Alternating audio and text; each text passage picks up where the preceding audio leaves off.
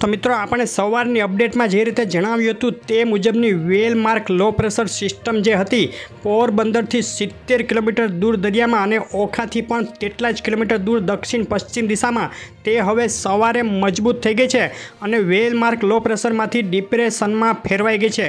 આ સિસ્ટમના આગળના ટ્રેક બાબતે હજુ પણ અસમંજસની સ્થિતિ છે. હવામાન વિભાગ મુજબ આ સિસ્ટમ ઉત્તર પશ્ચિમ દિશામાં આગળ વધી રહી છે. પરંતુ હજુ પણ આવતી ચોવીસ કલાક, આવતી બાર કલાક, ચોવીસ કલાકમાં સિસ્ટમના ટ્રેકમાં થોડો ફેરફાર થાય તેવી શક્યતાઓ રહેલી છે. આપણે જે સવારે કહ્યું હતું તે મુજબ જ પશ્ચિમ સૌરાષ્ટ્રના અમુક વિસ્તારોમાં ગાજવીજ સાથે ભારે ઝાપટા અને વરસાદ શરૂ થયાના અહેવાલો મળી રહ્યા છે અને આગામી કલાકોમાં અને આવતીકાલે સવાર સુધીમાં અમુક વિસ્તારોમાં પશ્ચિમ સૌરાષ્ટ્રમાં આ રીતનો વરસાદ ચાલુ રહી શકે અને હળવો મધ્યમ અને એકાદ સ્થળે ભારે વરસાદ પણ પડી શકે. તેની સાથે કચ્છના કાંઠા વિસ્તારોમાં પણ વરસાદની શક્યતા ગણી શકાય. અને તે સિવાયના ગુજરાતની આપણે વાત કરીએ, તો દક્ષિણ ગુજરાતના વિસ્તારોમાંથી હળવો મધ્યમ વરસાદ નોંધાયાના સમાચાર મળી રહ્યા છે અને આવતીકાલે સવાર સુધીમાં આ વિસ્તારમાં ભારે ઝાપટા અને અમુક સ્થળે મધ્યમ અને ક્યાંક ભારે વરસાદ હજુ પણ પડી શકે છે.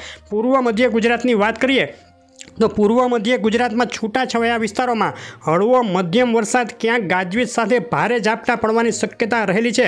ઉત્તર પૂર્વ ગુજરાતના સાબરકાંઠા અને બનાસકાંઠા આજુબાજુના વિસ્તારોમાં પણ છૂટાછવાયા ઝાપટા પડી શકે જે મધ્યપ્રદેશ સરહદ બાજુનો વિસ્તાર છે, સાબરકાંઠા અને જે પૂર્વ દાહોદ બાજુનો વિસ્તાર, ત્યાં ઝાપટાનું પ્રમાણ વધી શકે અને એકાદ બે જગ્યાએ હળવો મધ્યમ વરસાદ પડવાની શક્યતા ગણાય. ઉત્તર સૌરાષ્ટ્ર અને પૂર્વ સૌરાષ્ટ્રમાં વરસાદની શક્યતા ઓછી, છૂટાછવાયા ઝાપટા પડી શકે. તો મિત્રો, આ હતી ખાસ અપડેટ. અત્યારની સિસ્ટમ ઉપર આપણી નજર છે. સિસ્ટમના ટ્રેકમાં કોઈ ફેરફાર થશે તો વરસાદના વિસ્તારો વધી શકે કે ફરી શકે છે? તો તેની પણ ખાસ અપડેટ આગળ આપવામાં આવશે. આવતીકાલે મળશું એક ખાસ મોટી અપડેટ સાથે. ત્યાં સુધી આપનો દિવસ શુભ રહે. વિડીયોને લાઇક શેર, ચેનલ સબસ્ક્રાઈબ કરી દેજો.